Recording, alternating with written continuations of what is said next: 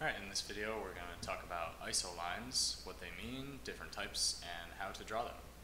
So what ISO lines are is they're basically lines that connect areas of the same qualities. So there's different, uh, different topics that we could use ISO lines for.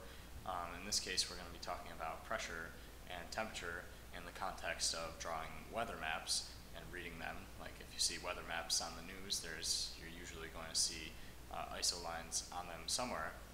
So the prefix iso means that things are the same or equal. And we have two different types when we're talking about weather of ISO lines that we could look at. And the first type is isobar, and this means the same pressure. So we're going to be drawing a line that connects areas that have the same pressure.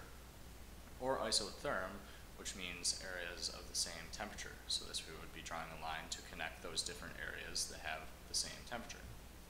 Right. So let's look at how to draw these lines. Basically, if you look at this map, we have a bunch of different temperatures listed on the map in different areas. And so with our iso lines, what we want to do is connect areas that have the same temperature. And usually you're going to be given an interval that you should use to draw your iso lines with. In this case, we've been given a 10 degree interval. We went from 10 degrees to 20 degrees to 30 degrees to 40 and so on. So we're looking for areas on the map first that have a temperature of 10 degrees Celsius. So we look on the map here, we can identify a few different areas that have 10 degrees Celsius as their temperature. Okay, so what we want to do is try and connect all of these areas with a line. So we can start here, we have 10 degrees to another 10 degrees. And we could connect down here to this 10 degrees. Notice we could have just gone across here and connected to this 10 degree mark over here.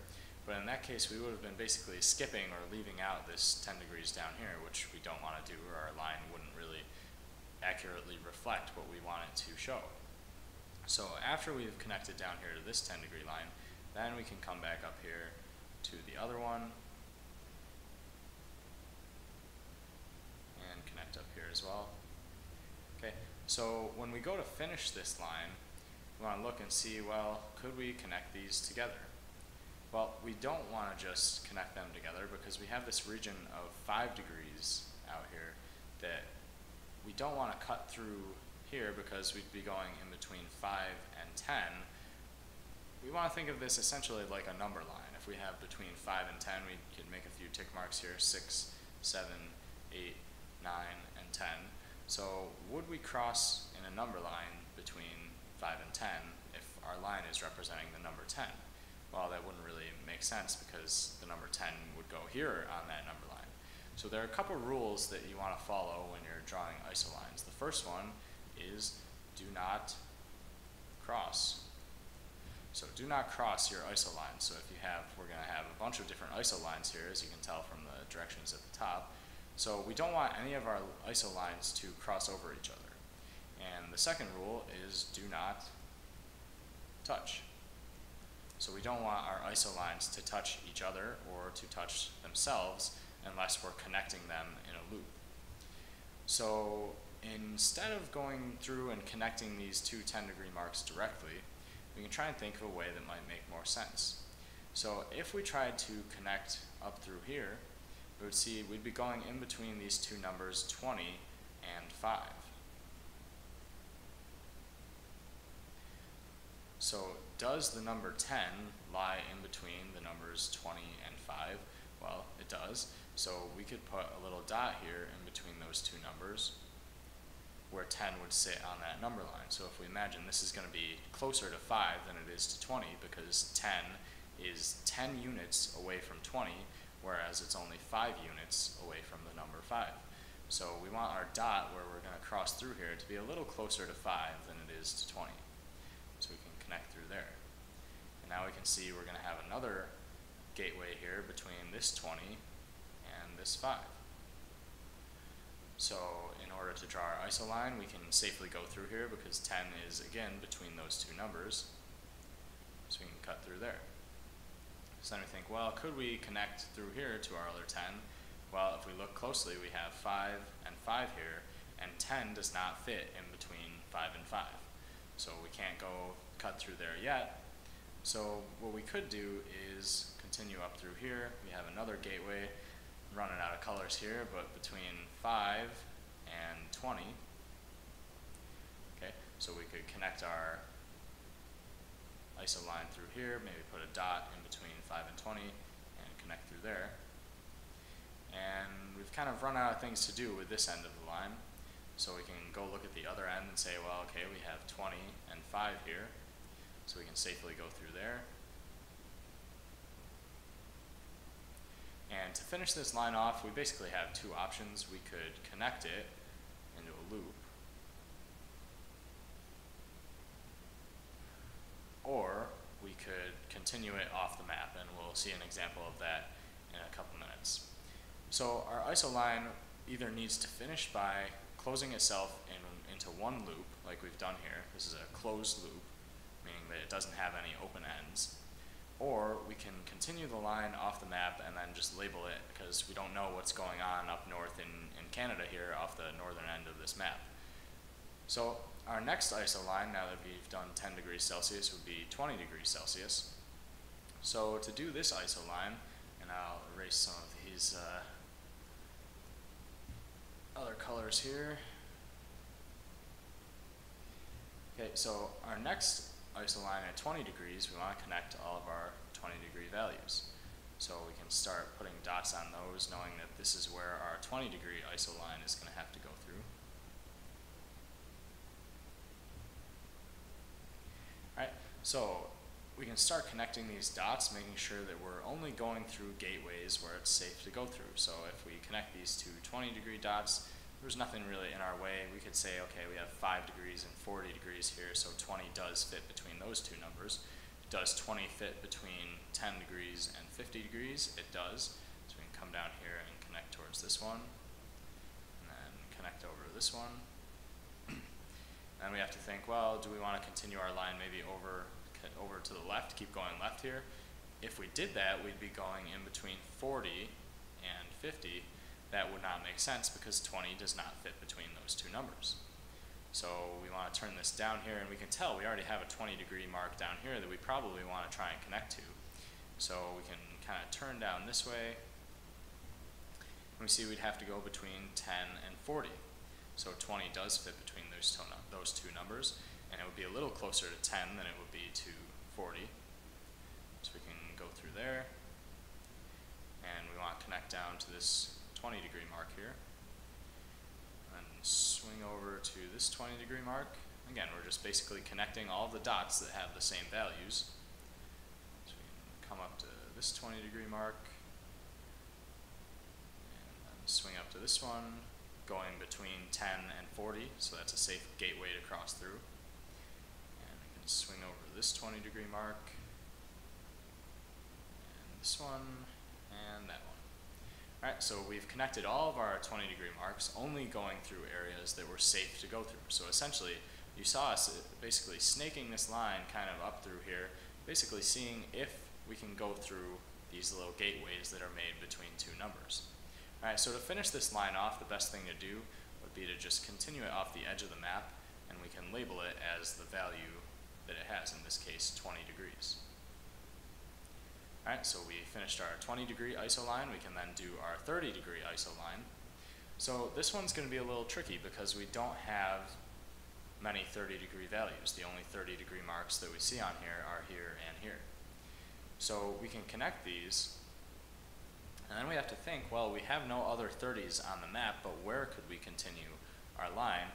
we want to just look at the different paths that we could take. So if we tried to go, let's say, straight down this way, we'd be going in between 40 and 50 here. 30 does not fit between those numbers, so we cannot go down in that direction. Would, if we tried to go over to the left here, we'd be going in between 20 and 40. That would make a lot more sense. 30 does fit between these two numbers, so we can safely go over there. Here we have another gateway between 20 and 40. That works. Here we have another gateway between 20 and 40. That works as well. So you can see basically along this 20 degree ISO line, we can kind of use this as a guide.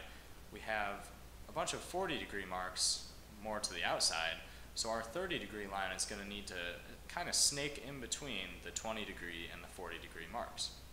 So we can keep going here between 20 and 40. Here we have another part in between a 20 and a 40. So we can go through there. So here we have 20 and 60. We have to make sure that 30 still fits between those, which it does. So we can keep going down. 20 and 40 here. 30 fits between those. Keep going. Another 20 and 40. And snake 30 in between those. And here we have 20 and 40. Snake between those. And then to finish this, we want to kind of come around this other 20 degree iso line. Here we have another gateway between 20 and 40, so we could fit through there. And here we have a gateway between our 20 degree line and 40, so we want to just keep snaking in between there. Again, between 20 and 40 here as well. Can we go between 20 and 50? We can. We want to stay a little closer to the 20 mark because 30 is closer to 20 than it is to 50. And we want to come up this way. So this is where we have to start being a little bit uh, thoughtful in our line drawing and saying, well, we know our 30 degree line is, is kind of hugging our 20 degree line here. We have a couple more gateways between 50 and 20, so again, we want to stay a little closer to the 20 between those two numbers. And same thing up here, we have 50 and 20, so we want to stay a little closer to 20 with that line. 20 degrees and 40 degrees, we can go about halfway between those, which would be this. 20 degrees and 40 degrees, again, halfway between those. We could end up finishing our line off the map like this. This one we could take up here. We don't, we don't really know. Maybe maybe the 30 line would go more up vertically like this, but we can say if it keeps about the same slope, then we'd probably finish it like that. All right. So the next iso line we have is 40 degrees Celsius. So we can work on that. We can put dots on all of our 40 degree numbers.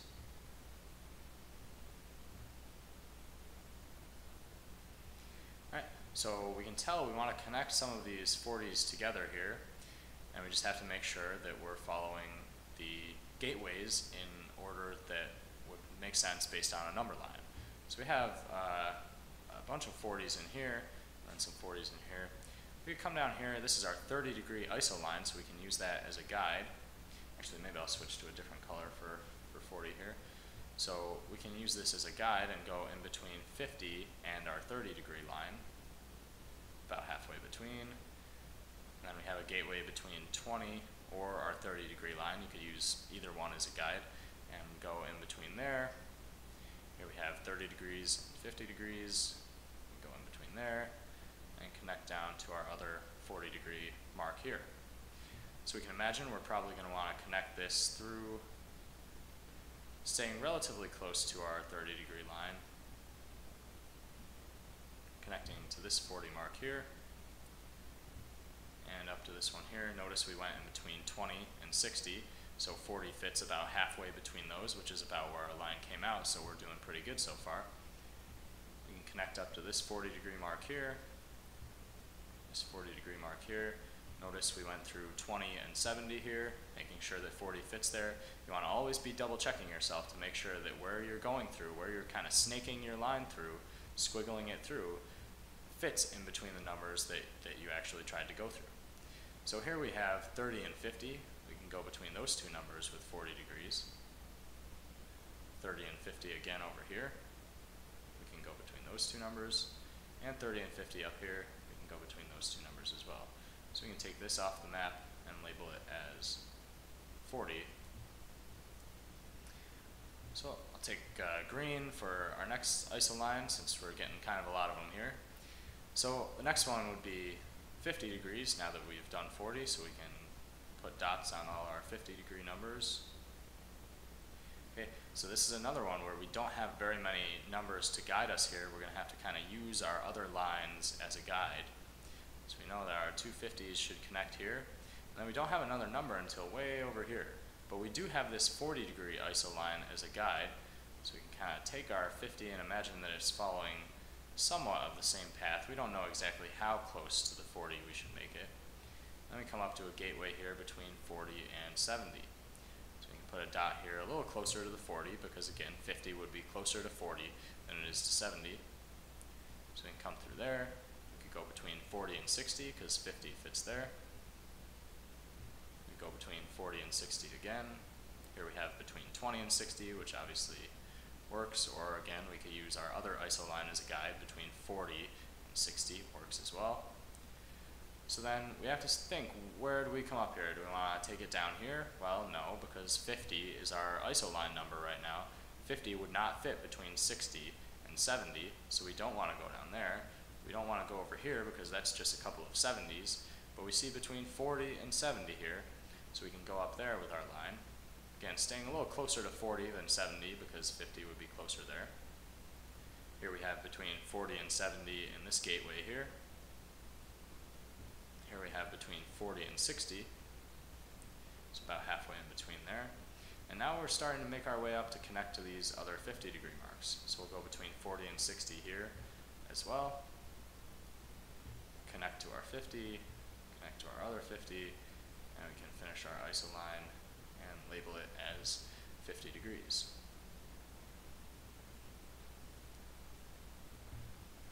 Okay, so I'll go back to red here for our 60 degree line. So 60 degrees we have here, here, and here.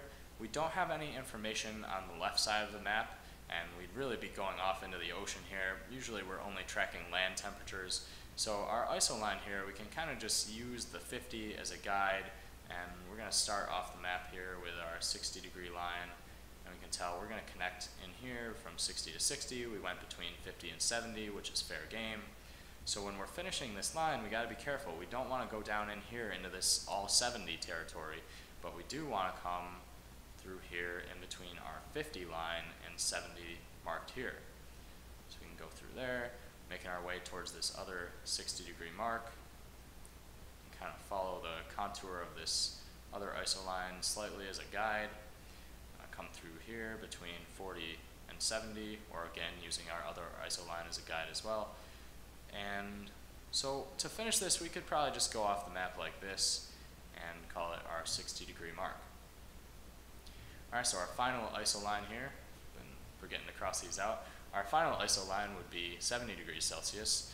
So to finish this, we would mark all of our 70 degree territories.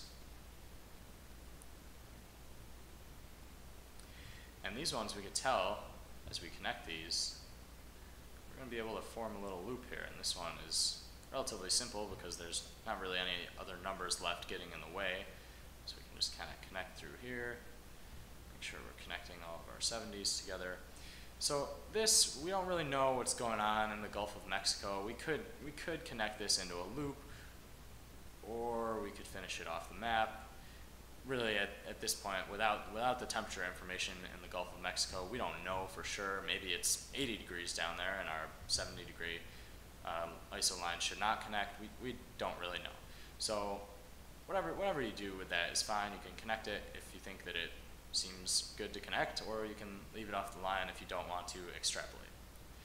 All right, so I hope this was helpful in terms of uh, learning how to construct isolines. I tried to go slow with this video. Uh, I will come back with another video uh, with another example of isolines going a little bit faster paced and just so you can have a, another worked example. Uh, but please feel free to stop and go back to certain sections of the video if you're still struggling with these isolines. I know it can be a confusing concept. Uh, but thanks for watching, and I'll see you in the next video.